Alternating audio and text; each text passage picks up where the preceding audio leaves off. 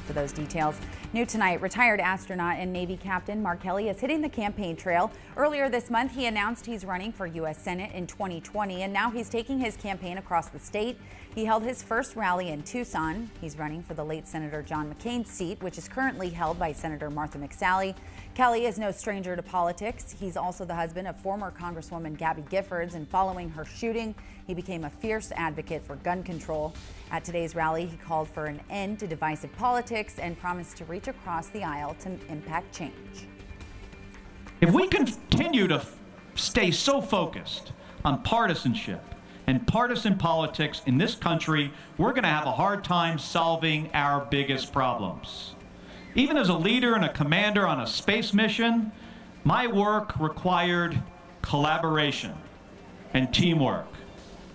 When you're aboard the space shuttle orbiting the Earth at 25 times the speed of sound and bad stuff starts to happen, you got to work the problem as a team.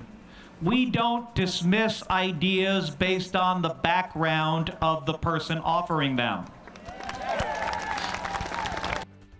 As Kelly rallies support, the GOP is already speaking out against him. Today, the Republican National Committee released a statement accusing Kelly of sitting on the sidelines, saying in part, since announcing his campaign, Kelly has been more interested in resistance than securing our border, proving he's just another obstructionist Democrat.